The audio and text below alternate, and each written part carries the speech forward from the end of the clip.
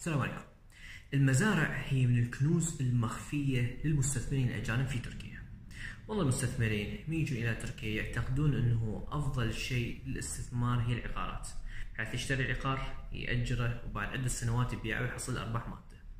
لكن المزارع هي بالنسبة للاستثمار طويل الأمد هي أفضل شيء. لماذا؟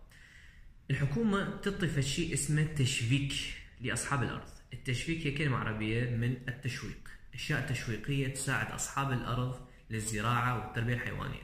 فعلى سبيل المثال بالنسبة للزراعة آه، الحكومة تعطي الأشجار آه، عمرها سنة أو سنتين للمزارعين وأصحاب الأرض بحيث هم يعتنون بها. بعد عدة سنوات من تطلع المحصول مالتها إن كان بعد سنة أو سنتين حسب الشجرة الحكومة نفسها تيجي تشتري هذا المحصول.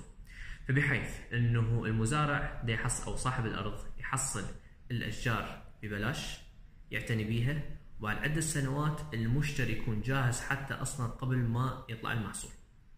هاي بالنسبة لموضوع الأشجار. بالنسبة مثلا للتربية الحيوانية الحكومة أيضا تعطي قروض آه، تصل ل 350 ألف أو 400 ألف ليرة بالسنة وبحيث تعطي يعني بأقساط تصل لمدة 10 سنوات. وكل. ويقدر المزارع أو صاحب الأرض ياخذ قرض كل سنة أو سنتين.